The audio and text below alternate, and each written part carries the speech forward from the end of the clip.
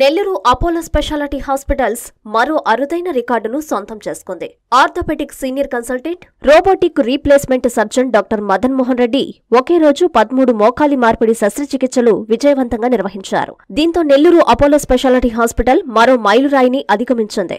ఈ సందర్భంగా ఏర్పాటు చేసిన మీడియా సమావేశంలో orthopedic senior consultant doctor Madan Mohan Reddy మాట్లాడుతూ మహానగరాలకే పరిమితమైన ఈ మోకాల మార్పిడి రోబోటిక్ సర్జరీని నెల్లూరు అపోలో స్పెషాలిటీ హాస్పిటల్లో అందుబాటులోకి తీసుకొచ్చామని తెలిపారు. గతంలో నిర్వహించే మోకాలి మార్పిడి శస్త్రచికిత్సల్లో అనేక ఇబ్బందులు ఉండేవని అన్నారు. అయితే రోబోటిక్ మోకాలి మార్పిడి సర్జరీ ద్వారా ఖచ్చితత్వంతో పాటు రోగికి ఎటువంటి ఇబ్బంది లేకుండా ఉండడం నొప్పికోత తక్కువగా ఉండడం త్వరగా రికవరీ కావడం వంటివి ఎంతో మేలు చేస్తాయని అన్నారు. ఈ రోబోటిక్ సర్జరీలో ముందుగా కంప్యూటర్లో త్రీడీ నమూనాను రూపొందించుకోవడం జరుగుతుందన్నారు. ఈ కార్యక్రమంలో ఆయన వెంట అపోలో ఆసుపత్రి medical superintendent doctor Sriram Satish doctor Vivekananda Reddy doctor Sasidhar Reddy doctor Shahal తదితరులు ఉన్నారు.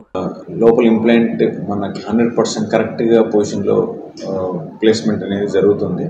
రెండోది సర్జరీకి ముందే సిటీ స్కాన్ చేసుకోవడం ద్వారా మనకి ఏ సైజ్ ఇంప్లాంట్ మనం వాడాల్సి వస్తుంది ఈ పేషెంట్కి ఎంత బోన్ కట్ చేయాలి?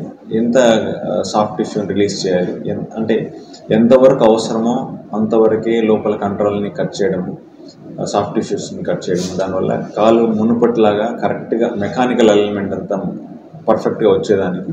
సో ఈ అలైన్మెంట్ పర్ఫెక్ట్గా జరిగినప్పుడు మోకాళ్ళ యొక్క ఆయుర్దాయం కూడా మనకి ముప్పై ఏళ్ళైనా ఉండొచ్చు ఎంతైనా. సో మ్యాక్సిమం లైఫ్ అనేది ఇంప్లాంట్ ఉంటుంది. సో ఇంప్లాంట్ పెట్టేటప్పుడు ఏదైనా కరెక్ట్ పొజిషన్లో పెట్టినప్పుడు అది ఇంప్లాంట్ లూజ్ అవ్వడం కావచ్చు లేదంటే లోపల ప్లాస్టిక్ అరిగిపోవడం కావచ్చు కాల్లో స్టెబిలిటీ లేకుండా ఉండడం తర్వాత కాలు నొప్పి రావడం ఇవి దీర్ఘకాలిక సమస్యలు చాలా మందిలో మాన్యువల్గా జరిగిన వాళ్ళు చూస్తున్నాం ఓవర్ పీరియడ్ టెన్ ఇయర్స్ తర్వాత ఫిఫ్టీన్ ఇయర్స్ తర్వాత.